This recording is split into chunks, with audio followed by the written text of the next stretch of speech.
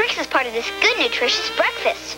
Silly rabbit, Trix are for kids. What that rabbit needs is a trickier disguise.